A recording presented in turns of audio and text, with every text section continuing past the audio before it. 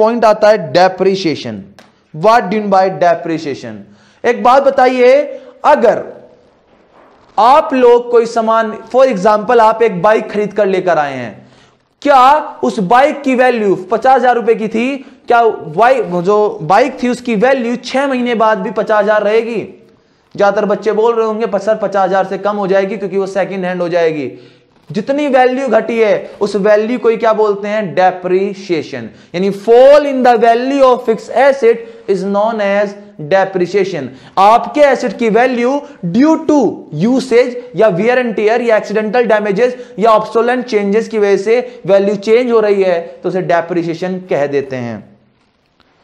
तो डेप्शन क्या होगा depreciation is a loss in the loss और fall in the value of fix asset किसकी वजह से? नॉर्मल वियर टीयर या एक्सीडेंट की वजह से। नॉर्मल वियर टीयर मतलब यूसेज की वजह से या फिर ऑप्सोलेंसेस की वजह से। आपने कोई गुड्स खरीदा था छह महीने बाद, नया गुड्स आ गया तो आपके गुड्स की वैल्यू अल्टीमेटली डाउन हो जाएगी। उसकी यूज़ की वजह से भी और टेक्नोलॉजी चेंज होने की वजह से। जो वैल्यू कम हुई है, उस वैल्यू को टर्म बोलते हैं डेप्रिशिएशन जब हम नेशनल इनकम के क्वेश्चन करेंगे तो डेप्शन का नाम है बेटा consumption of fix capital capital consumption allowance और रिप्लेसमेंट कोस्ट। ज़रूरी नहीं है क्वेश्चन में डेप्शन लिखा हो।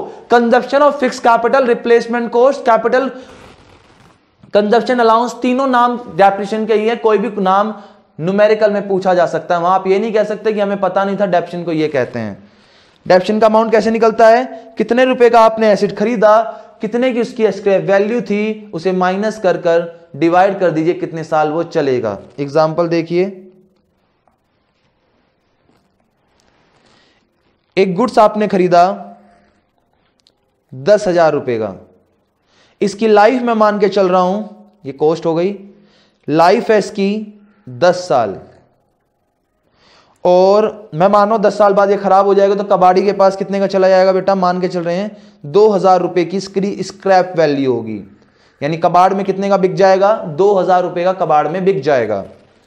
तो अगर डेप्रिशिएशन निकालना हो तो कैसे निकलेगा? Cost minus scrap divide by number of useful life तो बेटा दस हज़ार माइनस दो हज़ार डिवाइड बाय दस इजिकल टू कितना आ जाएगा बेटा?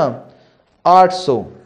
तो हर साल आपके एसिड की वैल्यू आठ से आठ सौ रुपए से डिक्लाइन कर जाएगी। ये हर साल। मान लो कितने साल हो गए? आज खरीदा है। दो साल बाद या पाँच साल बाद कितनी वैल्यू बचेगी बेटा इसकी? आठ इंटू पाँच कितना हो गया? चार हज़ार। दस हज़ार रुपए का एसेट था। उसकी वैल्यू चार साल बाद कितने की बच गई? छह हज़ार की बच गई। क्योंकि आठ सौ रुपए का डेप्शन हर साल लग रहा है तो पाँच सालों में डेप्शन कितना लगा होगा? चार हज़ार रुपए का डेप्रेशन लगा होगा। दस हज़ार की वैल्यू पर चार हज़ार रुपए का डेप्शन लग गया, यानी पाँच साल बाद आपके एसेट की वैल्यू कितनी रह जाएँगी? मात्र छह हज़ार रुपए रह जाएगी।